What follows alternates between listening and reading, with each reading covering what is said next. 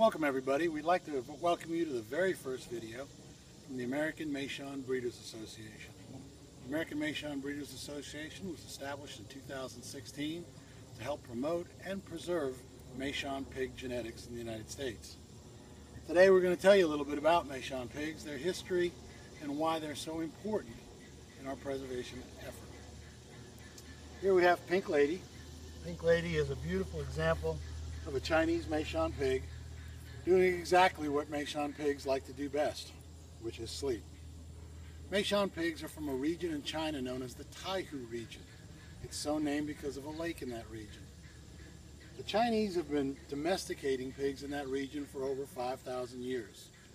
The Meishan may very well be one of, if not the oldest, heritage swine breed in the world. They are a medium-sized pig, growing from 350 to 400 pounds. I'd say Pink Lady here is about 400. Hey girl, how you doing? They're unique in that they are hyper prolific. And what that means is they have very large litters. Um, this young lady, her last litter was 20. A typical Meishan litter can be from 12 to 16 piglets by the third parity or the third time that they farrow or have babies. Meishans first came to the United States in 1989. In the late 70s, early 80s, the American pork industry was in a quandary.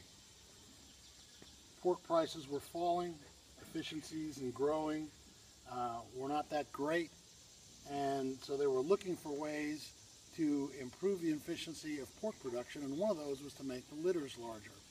So after 10 years of negotiation, the United States agreed with China to bring in 99 Meishan pigs. They also brought in two other breeds, a smaller amount, that were also hyperproductive to look at, but the major thrust of the study was the Meishan pig.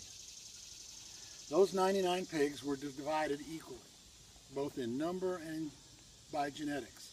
In other words, if there were three piglets from a litter, they were split into three groups. And those three groups were sent to the University of Illinois, Iowa State University, hey girl, and the USDA Meat Animal Research Center in Clay, Nebraska. For 25 years, the Meishan was studied.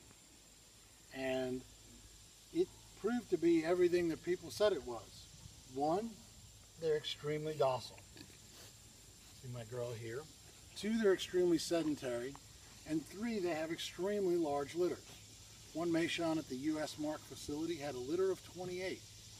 They're also better mothers with a higher weaning to farrowing ratio than domestic pigs.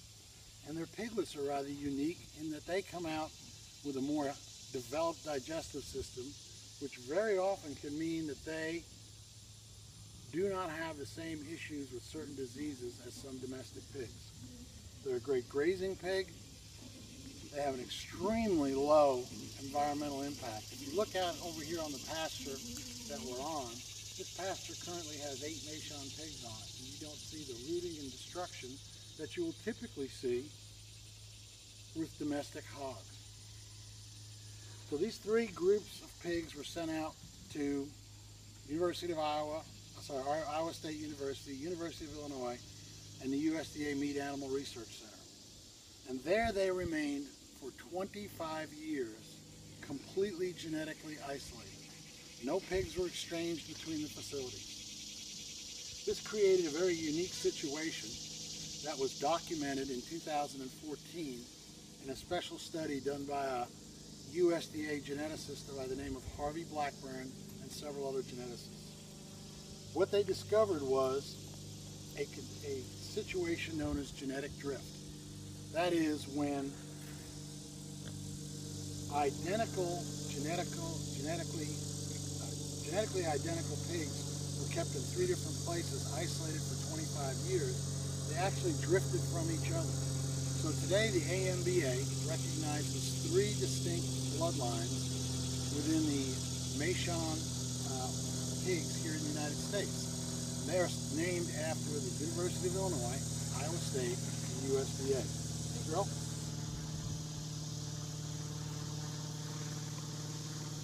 And there are differences, not only genetic but visual in those three bloodlines, and we'll go into that in a later video.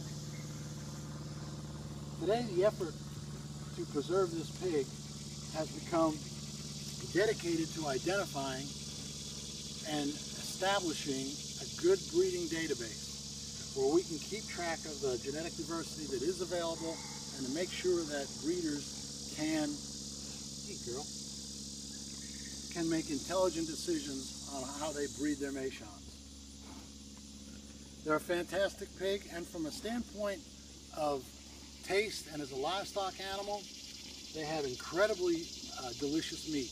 It is highly marbled, it is red, the grain of the meat is much finer than domestic pork.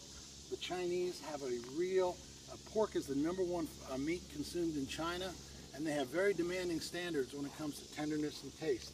And the Meishan today offers a level of taste and tenderness that's not available in commercial pork.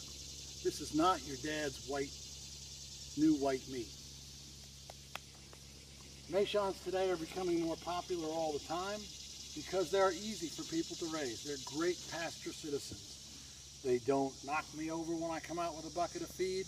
They're not aggressive to my other animals. They can be uh, jointly pastured with a number of different breeds.